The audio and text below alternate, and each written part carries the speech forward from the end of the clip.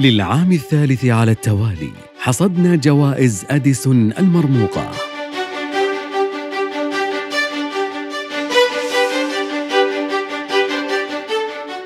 نعمل بجد لإيجاد حلول لتحديات اليوم من خلال الابتكار وتقديم المنتجات المتميزة وهذا ما تحتفي به جوائز أديسون بتكريمها الابتكارات ودعم المبتكرين.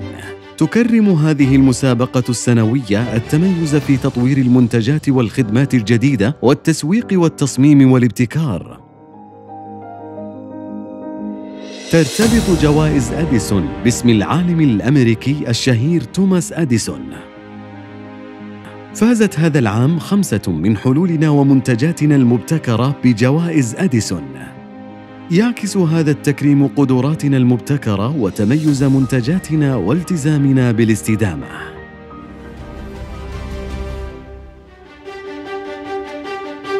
اليوريا الزرقاء من سابك للمغذيات الزراعية نعتز بفوزنا بجائزة اليوريا الزرقاء في فئة تطوير الأغذية والزراعة ضمن قسم التربة والمحاصيل.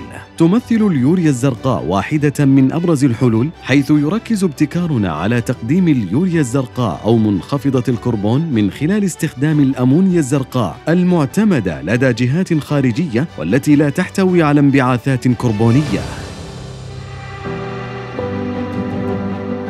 أسمدة الجيل التالي من سابك للمغذيات الزراعية. جائزة أخرى حصلنا عليها في هذه الفئة تقديرا لمنتجنا من السماد الفريد متعدد المغذيات الذي يستخدم مباشرة على أوراق النبات حيث أظهر وفرة في المحصول ونموا أسرع للنبات واستهلاكا أقل للأسمدة.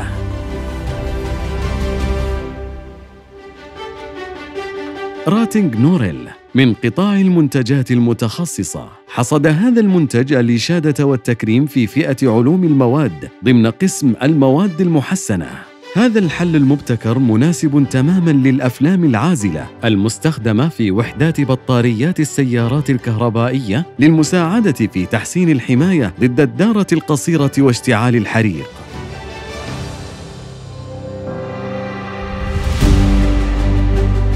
راتنج EXTEM من قطاع المنتجات المتخصصة.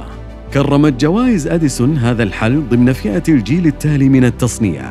ويتيح حل البلاستيكيات الحرارية المبتكرة من سابك للمصممين.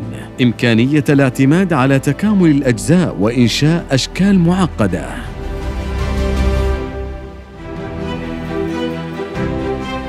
أول عبوة تغليف للطعام المجمد في العالم مصنوعة من البلاستيك المحتمل وصوله إلى المحيطات. كرم هذا الحل المعتمد على البلاستيك المحتمل وصوله إلى المحيطات المعتمد في فئة الاستدامة ضمن قسم المعالجة الخضراء وقد اعتمدنا فيه على النفايات البلاستيكية المستخدمة التي نستردها من المجاري المائية المغذية للمحيطات والمناطق الداخلية المتاخمة لها لتطوير أول حل لتعبئة المواد الغذائية المجمدة في العالم.